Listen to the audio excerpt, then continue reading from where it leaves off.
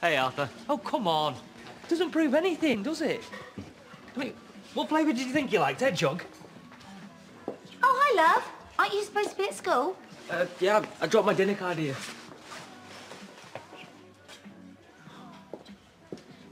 It's like you've done this before. Helped a fugitive survive. Yeah, well, a couple of flapjacks is the easy part. Have you done any more thinking? Yeah. Loads. But it's pointless. I, I can't go back to school. Can't go home. Can't stay living here forever. If you want me to leave... No, no, I don't. I'm, I'm here for you as long as you need me. Arthur! What are you doing here? I... I mean, boys, I'm really disappointed. The duplicity, the lying. So your sudden enthusiasm for Scrabble was a pretense to stop me going home? I thought it was a ghost. I suppose I'd come at you with a baseball bat. Have you even got one? No. A ghost that have a body? It's not a joke. You seem to find this pretty hilarious.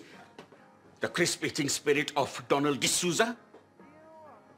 I'm sorry. We will discuss this properly later, but there will be consequences once I work out what's suitable. But for now, you need to go to school. Jai's going to take you. No, I want to stay with Marshall. I don't see what that's going to achieve. Right, come on. I've, I've been helping him. Right, I, since he was supposed to go to boarding school. What? What do you mean supposed to? Arthur? We wrote them a letter. Saying my granny was sick and I had to go and visit her in Italy. Have you even got a granny in Italy? No. And they believed you? It was on my dad's headed paper. Arthur, can you go, please? Oh, come on, Mum. Don't make this any more difficult than it is already.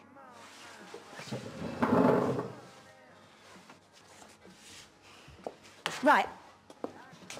I need your dad's number.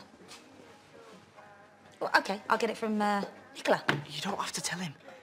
Mrs. Thomas, please. Look, I know you don't have the easiest relationship with your dad, and I know that going to boarding school was very sudden, but... But he is your dad, and he does care about you. It's non-negotiable. I need to tell him where you are.